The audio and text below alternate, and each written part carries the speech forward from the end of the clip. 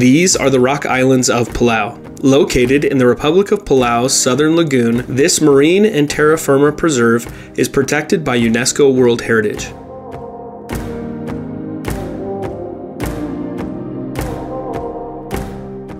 The intricate coasts contain an exceptional array of habitats that support a high density and diversity of species.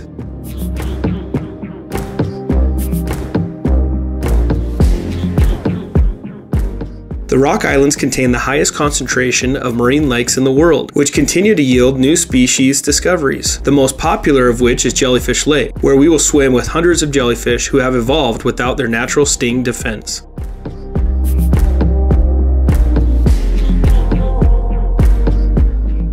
The islands support numerous endemic and endangered species. And although presently uninhabited, the islands were once home to many ancient Micronesians.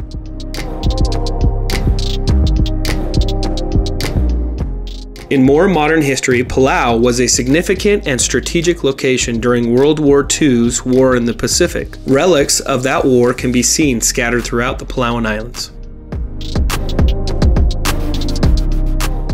Today is the first of three days exploring this breathtaking archipelago of 445 small, lushly forested raised coral islands.